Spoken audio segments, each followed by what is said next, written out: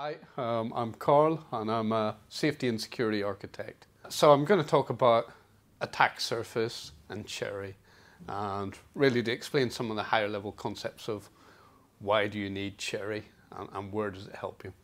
So, so let's take the simple, you know, simple embedded system. So, and we're going to concentrate on here on the SOC. So for instance, we might have some interfaces coming into your SOC, Typ typical ones like, you know, you might have a UART. Obviously, on a more complex SOC, you'd have something like USB, you know, PCI, anything like that. So basically, interfaces coming in, you do some processing on a CPU in here, and you do some operation and typically, you know, you might send stuff out via I.O. and control something. Yeah, typically. So just to explain attack surface, attack surface is all of the possible ways that somebody externally can abuse what you have to do something that they want it to do, um, particularly cause damage or, or something like this. Um, it may not necessarily be completely feasible to do, maybe really difficult to do, but, but the attack surface considers all of these things. So this is from a hardware view. When we move to a software view, we get something quite similar. You know, we have our uh, application and we have interfaces coming into it via the APIs. So, you, you know, for your UART, you might have some code in here that handles your, your serial input.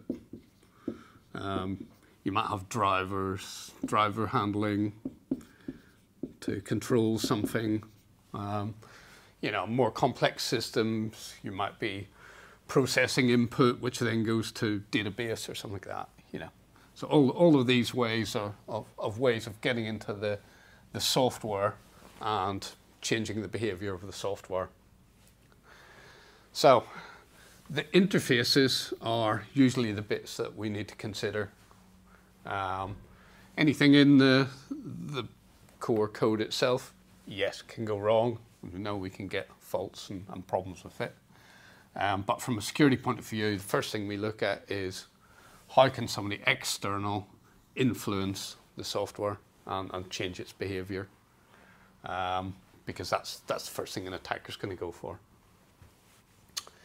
So in terms of our software and the, the interfaces, APIs, uh, obviously if you're programming in a language like C or C++, which is pretty common for embedded systems, still the majority of, of codes written in it, then a lot of these tend to be putting data into buffers.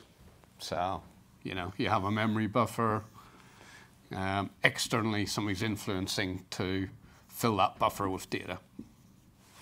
Um, or you might have, for instance, a, a network um, stack, for instance. So be like an Ethernet here as an example. And you have a driver that's, you know, feeding information into a buffer or any other protocol. And the danger is, of course, um, with C or C++, is that there is no checking in memory. So if this is your memory,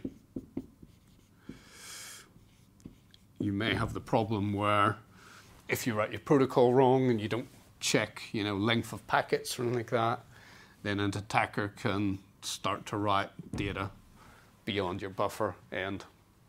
And um, this is when things start getting dangerous because you might have some sensitive data already in there and now you've overwritten it. Like, for instance, that could be a password. So whether you're able to write or whether you're able to read from it, it's still, still a problem. So what CHERI does, CHERI is a memory access protection technology. It's in the hardware, so it allows you to put hardware bounds on buffers. So it says you can only write from here to here, you cannot write anymore. So for instance, in C, if we declare um, an array, you know, very simple char buffer, say 10, something like that, then we can't write beyond that. And if you do write beyond it, you'll get a hardware exception at the CPU level. And essentially, that's the most basic protection use of CHERI. Um, protect your buffers. You can go a step further. You can also have permissions for this memory as well. So um, standard read, write, execute for a start. So you can set this buffer to be read only, write only, execute, which means you don't think you don't need things like non-executable bits in CHERI. You just set a region of memory to say you can't execute from it. You can only read and write, or you can only read it. So if you're doing message queues, for instance, you could have one way um, between two different processes. You could have a write on one side and a read on another side to the same block of memory. Um, so CHERI itself allows you to start building quite complex um, constructs, security constructs on top of it. But at its very simplest, it's a memory protection technology.